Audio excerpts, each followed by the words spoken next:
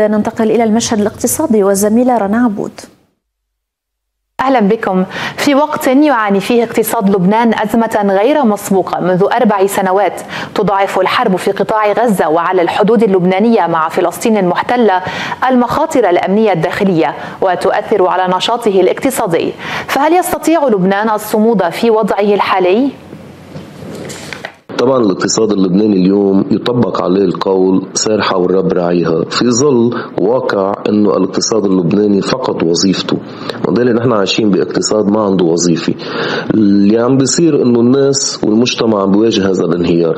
اللي عم بيصير إنه تم إيقاف طبع الليرة اللي كانت عم تفوتنا بالمضاربات. ولكن والمغتربين اللي هن مآمنين بهذا البلد وعم بيكملوا معه. في ظل حرب على جنوب لبنان في ظل حصار موجود على الاقتصاد اللبناني في ظل فساد في ظل عدم وضع خطة اقتصادية مهمة للإنقاذ.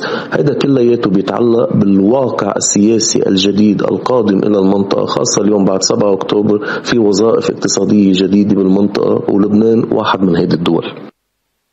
تراجعت بورصة تل أبيب خلال تعاملات اليوم على خلفية احتمال اندلاع الحرب على الجبهة الشمالية مع حزب الله في لبنان. عقب اتهام إسرائيل إياه بالوقوف وراء سقوط صاروخ على ملعب كرة قدم في بلدة مجد الشمس بالجولان المحتل. وانخفض مؤشر تي اي 35 الرئيسي 1.71% وخسر سهم بنك أبو عليم 1.76% من قيمته مسجلا 3.45 شيكلا أي 0 3.94 دولار.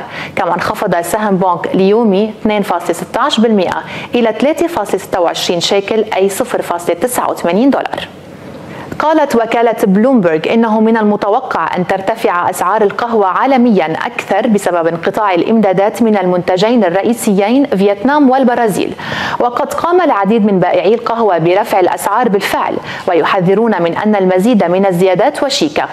وأدى الجفاف في فيتنام والبرازيل إلى انخفاض كبير في إنتاجية المحاصيل. وتقول بلومبرج إن الطلب المتزايد في أسواق مثل الصين والضغط من أجل دفع أجور أكثر عدالة للمزارعين يؤدي أيضا إلى ارتفاع الأسعار. ومع هذا الخبر نوصل لختام فقرتنا.